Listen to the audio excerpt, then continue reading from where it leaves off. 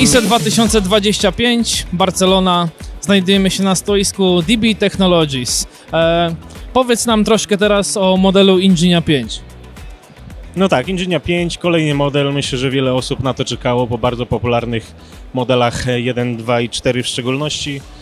Zupełnie nowa konstrukcja, zawierająca trzy 10-calowe przetworniki, do tego jeden driver na 3-calowej CFC.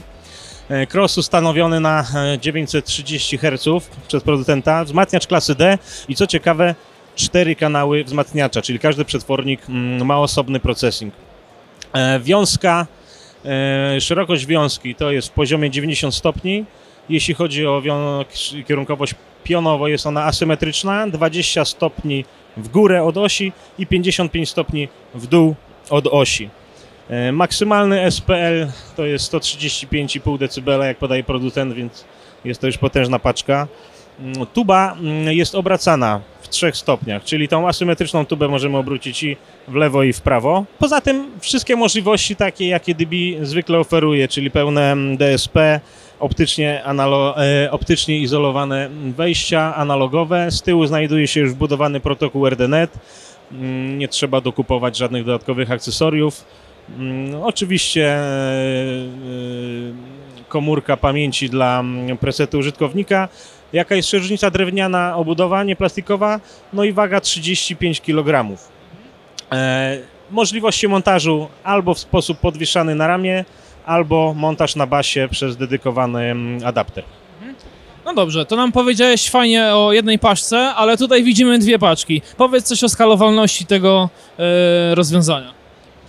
Oczywiście, tak jak w przypadku poprzednich modeli, możemy łączyć ze sobą dwa takie same modele, czyli my mówimy w tym wypadku o Engine 5. Stawiamy wtedy je driverami do siebie, dwie paczki ze sobą, łączymy za pomocą łączników, które są już e, docelowo po jednym e, w każdej paczce e, dołączone. No i mamy tak jak w poprzednich modelach sterowanie wiązką góra-dół od minus 10 stopni do plus 10 stopni w siedmiu krokach.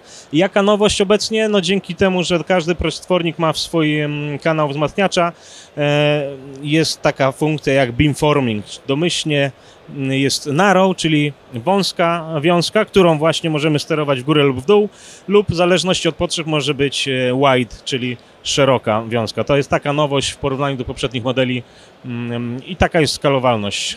Okej. E, E, super. Wspomniałeś też oczywiście o akcesoriach montażowych. E, tutaj widzimy subbasy dedykowane do tej serii. Opowiedz proszę o możliwościach tych subbasów, łączenia tych dwóch serii ze sobą e, oraz kompatybilności z innymi seriami.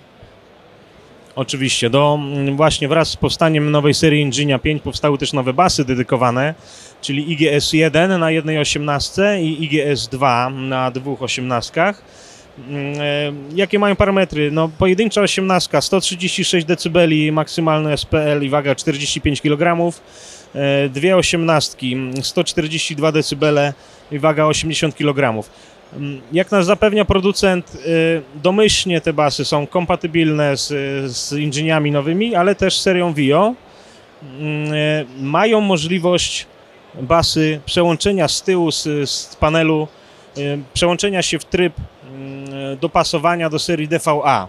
Także z każdą tak naprawdę liniówką ostatnio wypuszczoną możemy mm, y, tych basów też używać. Oczywiście wbudowane już domyślnie RDNet na pokładzie To powiedz jeszcze, jakie mamy możliwości kształtowania e, charakterystyki kierunkowej, jeśli chodzi o zestawy basowe.